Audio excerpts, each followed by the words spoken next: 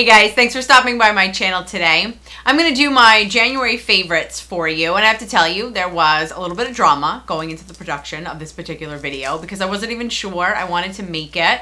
I don't have a ton of favorites this month. I feel like I've been focusing so much on my favorites of last year. You know, I did a December favorites and then a makeup favorites of 2016 and then the body, skin, and face favorites of 2016. I will link all of those. Definitely go check them out. But I really do. I love favorites videos and the stuff I'm going to talk about are not anywhere near the kinds of things that would have made necessarily an annual favorites video. And so we'll just have to see if they measure up over the next 11 months to make it into my next annual favorites. And so, plus, a favorites video doesn't have to be 10 hours long. And so this one should hopefully be short and sweet. I say that now. I think that's the kiss of death, and I think this this video will be like four hours. So let's get started. I have been loving and using um, a couple of masks by Sephora. Um, they are the rose version of their sheet mask for the face and their lip mask for what else but your lips. Um, rose is an ingredient known for moisturizing, and especially right now during this time in the winter, uh, where everything like sucks the life out of your skin and your lips and just everything in this entire region. I have to tell you too, it's been an interesting adaptation for me. Coming from Washington State, where I was living for so long, the air out there is very humid. The winters are very wet. And my husband and I, now that we've been in a New York winter, the two of us are walking around. We're like, oh my God, my skin is cracking everywhere and I'm so thirsty. We literally need to adapt to the dryness and the coldness of the New York East Coast winter. And so these two masks have been a lifesaver. Um, I stepped up and picked up another one of the Charlotte Tilbury um, Lip Cheat lip pencils. I had been using Pillow Talk, and so instead I got the shade Iconic Nude, which really, that is what it is. It's a little bit on the dark side, so if you kind of have like a pale nude lip, um, you're going to rock the 1990s because it will be darker around the outside and perimeter of your lip than the color of your particular pale nude lip color. Um, but I like it. I think it's a little bit more versatile than Pillow Talk um, a little bit more universal. Pillow Talk, even though it's pink, is also pretty deep. It's a pretty deep pink um, and also doesn't necessarily blend 100% um, well underneath very, very neutral, nude, pale lip shades. But I definitely wanted to try more of a browner shade um, and that's exactly what um, Iconic Nude is. I also treated myself to um, a couple birthday presents this past month. I did, if anyone is curious, I did in fact turn 39 at the beginning of the year, which kind of sucks, I have to tell you, because everybody is so tired from celebrating Christmas and then New Year's. My birthday's only a couple days after that. Society in general isn't really interested in celebrating my birthday, and so I did this year. And so I picked up two more of the Lorac Alter Ego super high pigment lipsticks um, in two different shades. I got Secret Agent, which is actually what I'm wearing now.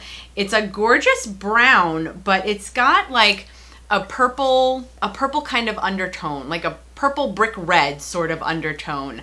I like it. It's really dark. Ironically so, it does remind me also of the 1990s where that kind of dark brownish reddish phase was going on. I liked it. I think it kind of complements my skin tone kind of nicely. Um, and so I don't really care that it's 2017. I want to go back to the 90s. I also got the shade Duchess, which is a really pretty kind of mauvey pink. Hello, big surprise, mauvey pink. I now think I own like five of these. And they're about half the price of the NARS Audacious lipsticks. I might be liking them even better because they are my go-to long wearing lipstick um, because they're like a creamy matte, but they have even more staying power than some other lipsticks that call themselves a creamy matte. And so um, I just really keep reaching when I know I'm going to be doing something like going to work or whatever for a long period of time. It's the lipstick that I least have to reapply and even check on. Like it winds up looking good and lasting for a very long period of time. And part of my job involves that I talk to a lot of people. And so even all of that talking and then drinking that I do along with that, you know, to stay like lubricated, um, it's still the lipstick still winds up staying on really, really good. And so I definitely did I need any more Lorac Alter Ego lipsticks? Do I need any more lipsticks? No. Did I want them? Yes. So I just filmed and posted a chatty get ready with me, which by the way, thank you for all of the feedback on all of the random and various things that I was talking about in that video. By the way, I have decided I'm going to go back to highlights. I have been researching um, stylists in my area. I found a very highly regarded um, studio, and so I'm going to make an appointment with them tomorrow. They were not open today, but I tried. Um, so I will definitely be. I miss my highlights. I think you all are right that I I enjoyed when I was lighter. And since I was born this way, I'm going to venture out and go back a little bit more to this way. we'll see how it turns out. No judgments, okay? I'm going in cold. I hope that I hope that it turns out okay. So anyway, thank you for that. In that video, I wound up using some new e.l.f. products that I had just recently bought, and I want to call out one of the products that I used in that video. I will link it. Definitely go check it out. Um, this is the e.l.f. I'm not going to hold up the outside because it's like a pure mirror and it will blind you, but it is the Beautifully Bare Total Face Palette, and that's really what it is. It's got a highlighter, it's got a bronzer, and then it's got two blushes, like a pinky one and kind of a peachy one. The shade, I just, I this pleasantly surprised me. I couldn't believe that the shadows were really creamy. Those are the blushes. They're not overpowering. They just add a nice, just kind of subtle, just kind of glow to your cheeks, which I'm not, like I said before, i am not a very big blush fan. I don't, I don't like to be like rosy cheeked or anything. But this palette, the powders are just really creamy. They blended really nicely. They lasted long enough um, I wasn't like crying because I felt like they had come off my face too fast. I enjoy the highlighter. It's very subtle. I'm not sure. Here's the bronzer and here's the highlighter. Um, it's very subtle, but it's got enough of a shimmer hint to it so that it will add a nice glow to your cheeks. It's just, oh my gosh, that's why they call it Beautifully Bare. I just got that right here, live. what am I like? How could I not have realized that? It's beautifully bare. They're subtle and they're not overpowering and they blend very nicely. And the whole palette was only like, I forget, six or eight dollars. And so it was definitely a very nice surprise for me. The foundation that I used in that video too, I have also been loving, although I did switch up the color. I'm wearing the new color today. I I mentioned in the video that I wasn't sure if the shade itself was too light. I kind of felt like it was. This one I'm feeling it's like a little bit more me. It's the L'Oreal Infallible 24 Hour Total Coverage Foundation. Um, totally reminds me of the Maybelline Dream Matte Velvet Hydrating Foundation. I think I mixed up those words, but um, totally reminds me of that. It's a very moussey textured foundation. It covers very nicely, but feels very comfortable on the skin so you don't you don't feel like you're wearing a mask um, of foundation. And so I like that. And with the moussey texture, I feel like that also makes it kind of light enough so that your skin can kind of breathe. Um, I haven't been breaking out from it. I have been using it a number of days in a row. I feel like it deals with my oil enough, but I also feel like with the dryness I've got going on as well, like I was talking about before in the winter, I feel like it's dealing with that also very nicely. So all in all, it's kind of like a complete package sort of foundation and I was very very excited about that. The last thing that I want to mention is another e.l.f. product that I didn't demonstrate in that get ready with me but I've really been liking because I've tried a number of other products. This was new to me. I don't know how long it's been out but it was definitely new to my Target and I'm at Target like every other day of the week and apparently so were you guys after my chatty get ready with me conversation about me and Target and returns and shopping. So I picked up the e.l.f. Hydrating Gel Melt Cleanser. Comes in a really pretty kind of crystallized mint sea green sort of jar. Um, so this is basically, it's similar to a cleansing balm. Now I had tried the one by Clinique, which I think they actually call a cleansing balm. That comes in kind of the lilac lavender purple jar. And that really is more of a, more of a balm. It has some whiteness to it um, and it's greasy and you put it on and it cuts your makeup and then I'll you, I would wipe it off with a makeup remover wipe just to kind of get the oiliness off. And I know that that's not how you're supposed to use it. I know you're supposed to apply water to activate the oil and then rub it off. I don't have time for that. I use the, the cleansing balm to cut the oil and then I just very easily wipe it away with a makeup remover wipe versus like a baby wipe. I don't want to use a baby wipe. I want to use something friendly on my skin and I don't want to use a towel or water because then you get the water that like drips down your arm, um, which is now pigmented with a little hint of your foundation. I mean, that's gross. I hate that. It's gross. So, cleansing balm by Clinique, very expensive. Um, this one by e.l.f. was 10 bucks. Now, it's a little bit different because it reminds me a little bit more, it's a little bit more like a Vaseline. It's pretty clear and it's definitely like emollient. Is that the right word? It's got like an like an oiliness to it. But honestly, I was using a cleansing oil before. So this is to me oil in a solidified state and I do the same thing. I apply it all over my face. It cuts the cuts the makeup and makes it ready for removal. I use a makeup remover wipe, just a generic one, actually the one by Kirkland, which I live for, and I just use it to gently wipe away and then I go in with my micellar, my simple micellar cleansing wipes to do like a final wipe down to make sure that there's absolutely no pigment left on my face. All of them gentle, all of them friendly, all of them not requiring water. And by the end, when I'm done, my face is clean. It feels hydrated because I haven't stripped away my skin's natural oils and like I said, I'm clean. And so for $10 versus like $30, like I said, it's a little bit different.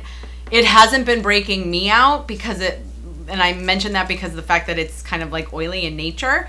Um, but it hasn't been breaking me out, and I can tell you that if it's not breaking me out, it is extremely less likely that it's going to break you out as well. Just because I I have I do have sensitive skin that breaks out quite frequently, and so for a third of the price for something that just is removing my makeup and making my skin happy, I'm like, how can I not talk about that? So the last thing I want to talk about um, is a tool, which is ironic because I just talked about the Babyliss Pro um, straightening iron, the titanium straightening iron in my last month's favorites. I think that was December. Well, since then, I have finally, finally caved and bought something that I had been eyeing forever. I got, uh, it's almost like a little bit as seen on TV. I think I actually found it on Facebook. It was one of those like sponsored ads. I got the Voloom. Do you guys know what this is? It looks like it's a waffle maker on the inside. It's got like crisscross, it's little squares and they're alternating so that when you press the plate together, it actually looks like teeth. and so what this does is actually just add volume. Now, my hair is flat, flat to my head. And what this does for me is actually just make my hair not flat.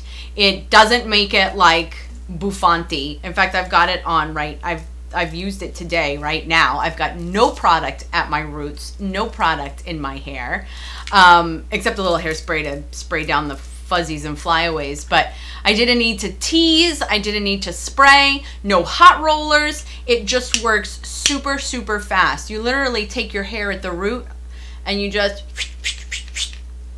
you don't have to use a sound effect when you do that, but you're literally just and that's it. And it's I got the petite one because it's a little bit narrower. The original size is white and it's quite a bit wider, but because my hair is fine and I don't have a lot of it. I didn't need the volume to come all the way down the side of the shaft of, you know, the length of the of my hair. Otherwise, like, I'd have, like, hair that came out to here. Um, if you want a tutorial on how I use this, because honestly, they're really there is a, quite a bit more to say about it and it does have some tips and tricks and things you need to know. You shouldn't just like go in and use it because ps that's what i did and i was like this thing sucks. It's making me look awful until i read the instruction manual and found out um, the different techniques to actually make it really really work. I use it every day. It's it's a hot tool but it they say that it's friendlier than teasing like your under roots and then spraying your under your underneath your roots and stuff. Um, this is literally just a quick shot, like a blip of heat. It's not even like a curling iron where you got to hold it on. It's fascinating. It's fascinating. Now, P.S. I did contact the company. I was like, I have a YouTube channel. I would love. I was so intrigued with the product. I would love to um, review your product for you. I had heard and seen that they were sending them out as um, as promo, you know, as PR for people to be reviewing for their channels.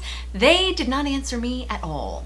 Um, so as such, I decided to purchase it on Amazon, so that way they would have to pay Amazon the middleman selling fee, and they did not get to keep the entire 100% of the profit. But that's petty, I know. Far be it from me to be stubborn and cut my nose off to spite my face. Is that how you say that cliche? Um, I didn't want to not talk about it simply because they didn't want to give me a $100 freebie product. Um, I wanted to share with you that it was a little bit of a game changer for me. And so, anyway, that is my personal story and slight resentment about Voloom. But you know what? Honestly, I'm not going to hold a grudge because they happen to make a pretty cool and funky product if you know how to use it. All right, that's what I've got for my January favorites. I have been vlogging today, which I haven't done in a really long time, and so I'm giving it a shot again. And a number of you asked to um, see me vlog again. And I was like, you know what? I haven't done that in a while. So definitely stay tuned for that. Um, going along with the fact that I talked about L'Oreal and that foundation in this video, I also picked up some really cool L'Oreal products that were new at the drugstore. I'm going to do a quick kind of review um, on those products as well. So stay tuned for that.